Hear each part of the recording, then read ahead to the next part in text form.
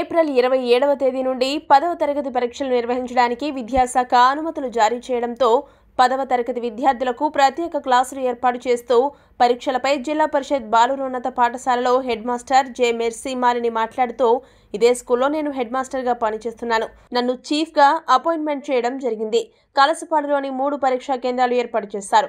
ఒకటి జిల్లా పరిషత్ బాలుర ఉన్నత పాఠశాల రెండు జిల్లా పరిషత్ బాలికోన్నత పాఠశాల మూడు Saint Anthony English medium school. ఈ మూడు పరీక్షా కేంద్రాలలో పదవ తరగతి పరీక్ష రాస్తున్నటువంటి విద్యార్థి విద్యార్థులు మొత్తం నాలుగు వందల నలభై మంది కలరు. వారికి పరీక్షా కేంద్రంలో కోవిడ్ నిబంధనల ప్రకారం ప్రతి విద్యార్థి విద్యార్థులు మాస్కులు ధరించాలి.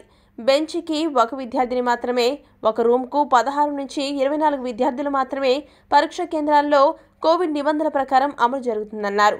కడప జిల్లా కలసపాడు మండలంలోని కలసపాడు జిల్లా పరిషత్ ఉన్నత పాఠశాలలో వారు మీడియాతో మాట్లాడుతూ విద్యార్థులు పబ్లిక్ పరీక్షలపై భయం వీడి స్వేచ్ఛ వాతావరణంలో పరీక్షలు రాస్తే ఉత్తమ ఫలితాలు ఉంటాయని వారన్నారు. అన్నారు జిల్లా పరిషత్ బాలుర ఉన్నత పాఠశాలలో హెచ్ఎంగా పనిచేస్తున్నారు. ఇదే పాఠశాలకి టెన్త్ క్లాస్ సెంటర్ ఇచ్చినారు.